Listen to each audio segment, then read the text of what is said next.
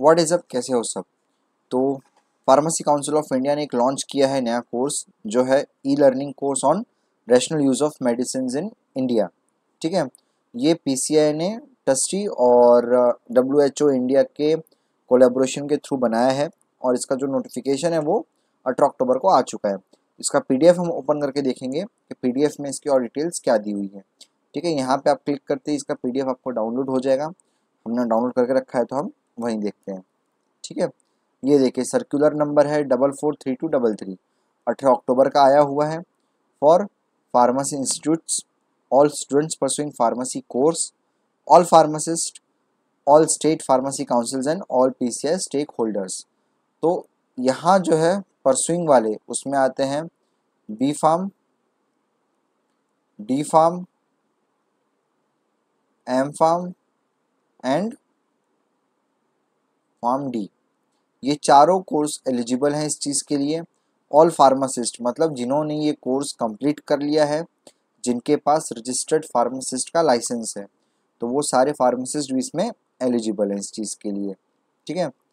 ये देखिए course launch हुआ था thirtieth April 2020 for क्वेट L M S portal of thirsty यहाँ पे इसका लिंक है।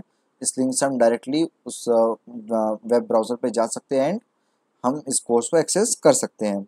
अगर आपको इसका ऐप डाउनलोड करना है मोर कन्वीनियंस के तो यहाँ पे ऐप स्टोर और गूगल प्ले का भी क्यू आर कोड दिया हुआ है। इसको आप स्कैन कीजिए और डायरेक्ट चालू कर दीजिए कोर्स उसके अलावा यहाँ पे लास्ट पेज में अगर हम देखेंगे तो यहाँ पे हमें स्टेप्स दिया हुआ है कि हमें इस स्टेप्स को कैसे फॉलो करना है।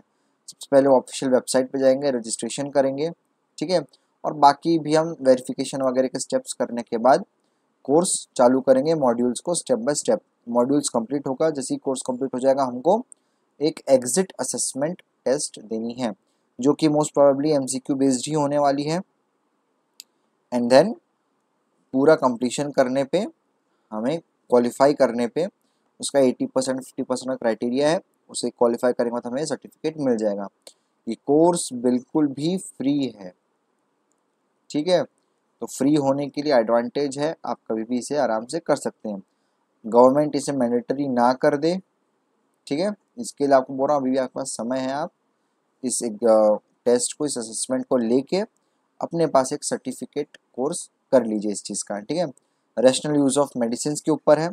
रेशनल यूज़ ऑफ़ मेडिसिन का मतलब यही होता है कि किस पेशेंट को कितने मेडिसिन की कितनी ज़रूरत है। और फार्मासिस्ट का ये फ़र्ज़ बनता है कि वो उस पर्सन को उतनी ही मेडिसिन दे। ठीक है? तो उसमें ओवर द काउंटर मेडिसिन और सारी डिटेल्स में दिया हुआ है। ठीक है? तो चलिए, मिलते हैं किसी अगले वीडियो में। इस बारे में आगे बात करेंगे।